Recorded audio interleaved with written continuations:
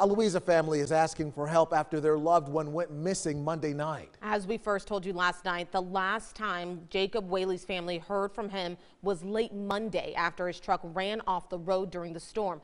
8 News reporter Rachel Keller is live in the Digital Center with the latest on their search. Rachel. Deanna Eric, family members, friends, volunteers, and even strangers head out today to search for Jacob Whaley after losing one of her sons in a car crash 20 years ago. Whaley's mother tells me she fears she will have to bury another.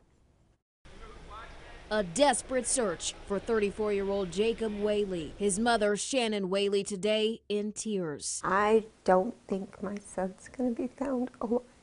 Whaley was on his way home to Louisa during the snowstorm Monday night when his truck went into a ditch. Whaley told his family he would walk the rest of the way, about six miles. His mom received a text from him at 846 that night saying, I lost. That was the last time she heard from her son. It's been too cold and too many hours.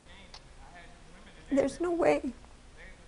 It'll be a miracle. Whaley's sister Angela had been searching for a tow company when he stopped responding. We assume because it was dark and everybody's power was out because all of the trees were down that um, it was so dark he couldn't see where he was going. According to the Spotsylvania County Sheriff's Office, Whaley's truck was found on Mount Olive Road, which stretches into neighboring Hanover County. It's just important that he gets home. Loved ones asking for more help from authorities. We're afraid to say, you know what, I'll step up and find this man. They're preparing for the worst, but hoping for the best. With the way the weather has been, uh, he is definitely not going to be in the best condition.